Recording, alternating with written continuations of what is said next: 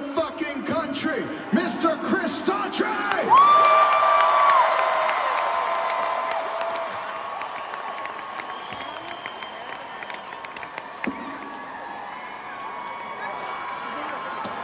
Thank you, Nashville.